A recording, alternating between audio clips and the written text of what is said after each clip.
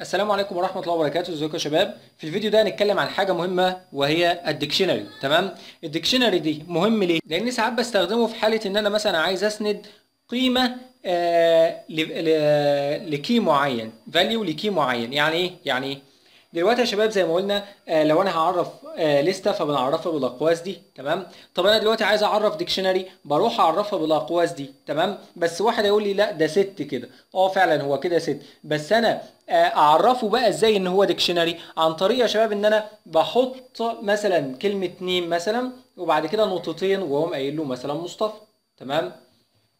طيب يعني ال dictionary بيبقى زي ما أنت شايف كده بيبقى عندك دي ده الحتة اللي مكتوبة قبل النقطتين اللي فوق بعض دول اسمهم key تمام؟ وديت اسمها value تمام؟ اللي هي القيمة. ده المفتاح وده القيمة بتاعته تمام؟ طب لو أنا مثلا عايز أعمل ايدج مثلا ممكن أقوم قايل ايدج بالشكل دوت كده ونقطتين فوق بعض وبعد كده آه 20 مثلا تمام؟ فهو يا شباب عرف منين إن دي ال dictionary أنا دلوقتي لو قمت عامل print لل type of x تمام؟ وحبيت اشغل هيقوم قايل لك dictionary عرف منين إن هو dict dictionary عن طريق النقطتين اللي فوق بعض دول ما أنت حاطط مفتاح وقيمة و comma وحطيت مفتاح تاني وقيمة تمام؟ يبقى هو عرف عن طريق النقطتين اللي فوق بعض دول قبلها مفتاح وبعدها قيمة إن دوت dictionary تمام؟ أمال كان يعرف إزاي انها set لو كانت القيم محطوطة بالشكل دوت كده ثانية. القيم كانت محطوطة بالشكل دوت كده comma وديت comma كده تمام؟ فلو أنا حبيت اشغل هيقوم قايل لك set خلاص تمام؟ إنما طول ما أنت عامل النقطتين اللي فوق بعض دول كده تمام؟ فهو خلاص عارف إني آه دوت مفتاح والقيمة بتاعته. بعد كده comma مفتاح key والقيمة بتاعته تمام؟ طبعا يا شباب نفس الحكاية والله بنتعامل برضو معاها زي ما إحنا قلنا قبل كده. لو أنا عايز أطبع ال dictionary دي بنعمل print ال x هيقوم طابع لك ال dictionary أهو. name مصطفى ايج 20 تمام؟ تمام؟ طبعا يا شباب برضو لو أنا آه عايز أطبع آه مثلا ممكن أقوم قايل له print x of zero تعال نشوف كده يطبع إيه. ها؟ هيقوم قايل لك error مفيش حاجة اسمها x of zero تمام؟ ليه؟ لأن الكلام دوت مش شغال هنا أصلا. تمام؟ بصوا يا شباب هنا بنعملش الكلام ده. دلوقتي مثلا لو أنا عايز أرجع قيمة قيمة ال name موجود فيه إيه مش ال name ده دلوقتي ال value بتاعته مصطفى وال age دلوقتي ال value بتاعته 20 آه فأنا عايز أعرف ال value تمام بتاعة ال name تمام وعايز أعرف ال value بتاعة ال age أعرفها إزاي؟ عن طريق إن أنا أقوم عامل print ل x of name بالشكل دوت كده تمام؟ فلو أنا هشغل هيقوم قايل لك مصطفى تمام؟ يبقى كده يا شباب عشان أطبع آه قيمة لمفتاح معين بقوم قايل x of والمفتاح بيديني القيمة اللي هي مصطفى. طب لو أنا عايز أطبع الايدج هقوم قايل له print x of age تمام؟ فهيقوم قايل لك كام؟ 20 تمام؟ تمام. فيبقى أنت عارف ليه هنا في الحالة دي ما عملنا print x of zero إداني صفر. ليه؟ إداني خطأ. إداني خطأ ليه علشان x of zero دي آه zero دي معناها إن في key جوه ال x في مفتاح جوه ال x اسمه صفر. لكن في الحقيقة لا مفيش مفتاح جوه ال x اسمه صفر. إحنا قلنا اللي بيتحط ما بين الأقواس المفتاح. فمفيش مفتاح جوه x اسمه صفر. ده المفتاح اللي موجود جوه x name و age تمام؟ name و age مفيش مفتاح هنا اسمه صفر خالص. زي ما قلنا يا شباب ال name وال age دول اسمهم keys مفاتيح. طب لو أنا عايز أطبع المفاتيح كلها اللي موجودة في ال x بقوم عامل إيه؟ بقوم قايل له print لإيه؟ ل x dot keys تمام؟ ف وطبعا بتقوم عامل القوسين كده. لو أنا جيت أشغل هيقوم قايل لك ال keys اللي عندك اهي اللي هي ال name وال age تمام؟ تمام. طب أنا لو قمت حاطه مثلا في متغير اسمه y مثلا تمام؟ y بيساوي x dot keys تمام؟ وبعد كده قمت عامل print لل y دي تمام؟ وحبيت أشغل هيقوم قايل لك dict keys وقام قايل لك ال name وال age تمام؟ طيب لو أنا بقى عايز أطبع نوع ال y دي إيه؟ نوع ال y دي إيه؟ فهقوم قايل له print ل type of ال y. تعال نشتغل كده. قام قايل لك dict keys. تمام؟ آه فطيب. دلوقتي يا شباب آه زي ما قلنا يبقى أنا كده عشان أطبع المفاتيح اللي موجودة جوه ال x عملت x dot keys. طيب ففعلا طبع لي المفاتيح اللي هم ال name وال age. طيب لو أنا عايز أطبع ال values فهقوم قايل له print ل x dot values تمام؟ اللي هي القيم. يعني المفروض مصطفى و20 فلو جينا شغلنا هيقوم قايل لك ال values مصطفى و20 تمام؟ تمام؟ طبعا يا شباب بقى لو أنا عايز أطبعهم تحت بعض عايز أطبعهم تحت بعض فهقوم قايل له for i in x dot keys تمام؟ يعني لمست for آه أو for key تعال نسميها مثلا 4 كي عشان يبقى رمز معبر تمام؟ 4 كي لكل مفتاح موجود في x dot keys اطبع لي المفتاح ده فهقوم قايل له print لل key تمام؟ طيب لو أنا حبيت أشغل هيقوم قايل لك ال name وال age تمام؟ طيب دلوقتي لو أنا عايز أطبع ال value آه تحت بعضها فهقوم قايل له for value تمام؟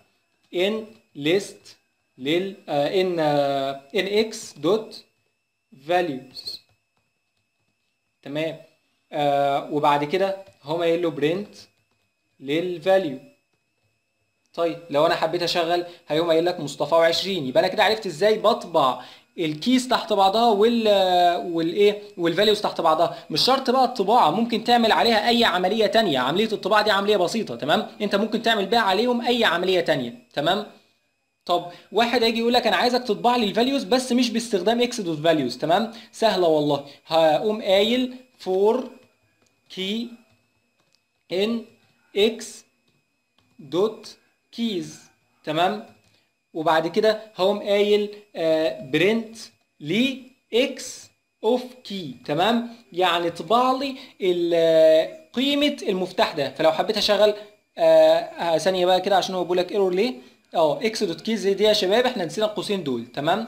فلو حبيت أشغل قام قايل لك فعلا مصطفى و20 فمش شرط أكون قايل x dot values لا ممكن أقول x dot keys وأعمل x of key بالشكل دوت كده فيطبع لك برده ال value تمام؟ وبرده يا شباب لو أنا عايز أطبع طول ال x دي كام؟ فممكن أقوم قايل print ل len x تمام؟ فلو أنا عايز أطبع طولها تمام؟ هيقوم قايل لك 2 2 ليه؟ ما 4 أهو. لا مفيش حاجة اسمها 4 أنت عندك قيمة مفتاح وقيمة تمام؟ مفتاح وقيمة. دي دي كده واحد.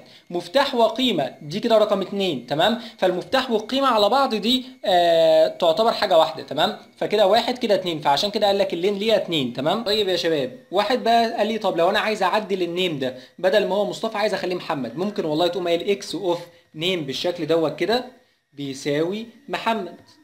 تمام؟ وممكن تقوم قايل في الآخر print ال x كده عشان نتأكد. هيقوم قايل لك أهو ال name محمد وال age 20 يعني غيرها تمام؟ يعني بقول له غير ال value بتاع ال key ده خليه محمد تمام؟ سهله تمام؟ طب لو أنا يا شباب عايز أضيف حاجة تانية مثلا عايز أضيف ال language بتاعته يعني أنا معايا key اسمه name و key اسمه age عايز أضيف key و value تانيين أعمل إيه؟ ممكن أقوم قايل ممكن يا شباب أقوم قايل x of آه مثلا الحاجة اللي أنا عايز أضيفها إيه المفتاح اللي أنا عايز أضيفه إيه؟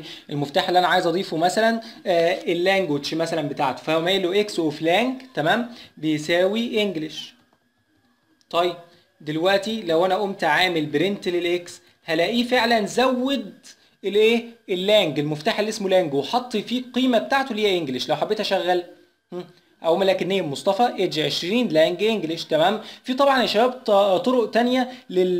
للإضافة مش مش دي الطريقة الوحيدة للإضافة في طرق تانية للإضافة تمام؟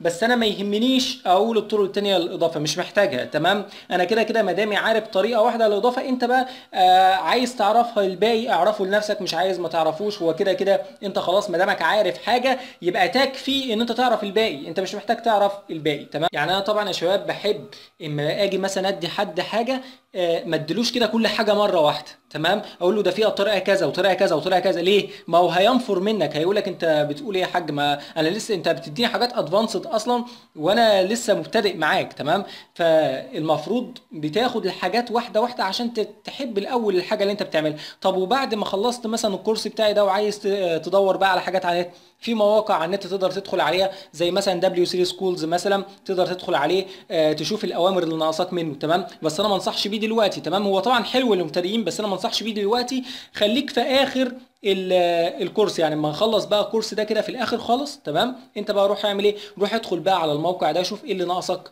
واللي انت ما اتعلمتوش تمام؟ من الحاجات اللي إحنا خدناها شوف إيه الأوامر اللي انت ما خدتهاش تمام؟ وكده كده زي ما قلت لك انت أصلا مش محتاج تعرفها لأن انت كده كده تعاملك معاها مش كبير زائد كمان ان انت خدت اللي يغنيك عن التعامل معاها. يعني مثلا آه زي ما قلت لك كده هنا في آه طريقة جديدة للإضافة غير الطريقة دي تمام؟ فانت مش مضطر تعرفها لأن انت عارف طريقة للإضافة. ليه تعرف الثانية تمام؟ طيب يا شباب لو أنا عايز أعمل آه delete للحاجات اللي جوه ال list دي تمام؟ فبقوم عامل إيه؟ بقوم عامل x dot clear تمام؟ فدلوقتي لو جيت تشوف هينضف لك الليستة دي أو قام طبعها لك كده تمام؟ فدلوقتي عاملها لك إيه؟ آه جوه ال dictionary ده يعني عاملها لك clear نضف لك اللي جواه تمام؟ طيب برضه يا شباب في حاجة بقى جميلة جدا إن أنا هنا لو قمت print ال x وبعد كده قمت عامل كلمة del كده بس del تمام؟ لل x تمام؟ وقمت قايل print لل x بعدها. فلو قمت متكي enter. بص أو اتكيت على العلامة دي تمام؟ جيت أشغل قام طابع لك ال x في المرة الأولى. في المرة الثانية قام مديك error إداك error ليه بقى؟ ولو تلاحظ هيقوم هيديك error هنا. يقوم لك undefined name x فين ال x ده؟ إيه ده؟ هو أنا مش معرف ال x أنا يا ابني مش قايل لك x فوق. ما هو del دي اختصار delete تمام؟ دي بتحذف لك ال x من البرمجة نهائيا. يعني أنت كنت عرفت x قبل كده؟ آه. هي بقى بتحذف لك ال x نهائيا أكنها مش موجودة أكنك ما عملتهاش أصلا تمام؟ فعشان كده لما تيجي تعمل x بعد كده قايل لك error مفيش أصلا undefined name x ده مفيش تمام؟ ودي طبعا برضو يا شباب تطبق على ال list وعلى tuple وعلى كله تمام؟ ال del دي تمام؟ طب دلوقتي يا شباب لو أنا مثلا عايز أحذف الايدج دي تمام؟ عايز أحذف ال key بال value بتاعته اللي اسمها ايدج دي تمام؟ ممكن أروح أعمل إيه؟ هو قايل x dot فاكرين إنتوا بوب آه ده هو قايل x dot pop واحط جواها ال key اللي أنا عايز أمسحه. أنا عايز أمسح ايدج فخلاص هيمسح لي ال age بال value بتاعته. فلو أنا قمت جاي تطبع ال x مش هلاقي فيه غير ال name بس أو name مصطفى بس تمام؟ ومسح ال age بال value بتاعته تمام؟ آخر حاجة بقى كده يا شباب في إيه ال dictionary ده؟ عشان بس نبقى خلصنا الحاجات المهمة اللي فيه تمام؟ هو ال آه مثلا لو أنا معايا keys مثلا مفاتيح كلها موجودة جوه ليستة تمام؟ ومعايا ال values بتاعتها كلها موجودة جوه ليستة تمام؟ يعني مثلا معايا آه مثلا name عندي key اسمه name واحد وعندي key تاني اسمه name اتنين وعندي key تالت اسمه name تلاتة. ثانية. ماشي. وبعد كده ال value بتاعت الأولى هو ما له مثلا مصطفى وال value بتاع name اتنين اسمه مثلا أحمد وال value بتاع name تلاتة اسمه محمد. تمام؟ لو أنا بقى يا شباب عايز أعمل إيه؟ عايز آه عايز آه أدمج الاثنين دول في dictionary تمام؟ يبقى ده ال key ودوت ال value بتاعته ده ال key ودوت ال value بتاعته ده ال key ودوت ال value بتاعته تمام؟ بروح أعمل إيه؟ بقوم قايل له آه مثلا dictionary بيساوي آه بيساوي dict اختصار dictionary يعني dict اللي هو ال class ده تمام؟ وبتفتح قوسين وتقوم عامل zip تمام؟ وتفتح قوسين وتكتب جواه ال keys تمام؟ وال values تمام؟ بس keys و values دلوقتي يا شباب لو أنا قمت عامل آه ثانية بس نشوف هو مديني error هنا ليه؟ بيقول لك undefined values. آه إحنا مدخلنا غلط. بس كده. تمام؟ ماشي. دلوقتي بقى يا شباب لو أنا قمت عامل print لل dictionary ده؟ ماشي. وحبيت أشغل قايل لك name واحد مصطفى. name اتنين أحمد. name تلاتة محمد. تمام؟ عن طريق إيه؟ عن طريق dict zip keys و values بالشكل دوت كده تمام؟ راح حط لك ال keys وقصادها ال values name واحد مصطفى name اتنين أحمد name تلاتة. محمد حط لك ال key قصاد ال value الكي قصاد الفاليو الكي قصاد الفاليو تمام؟ تمام. يبقى ده كده يا شباب كان بالنسبة للفيديو بتاع النهارده بنتكلم عن ال dictionaries والسلام عليكم ورحمة الله وبركاته.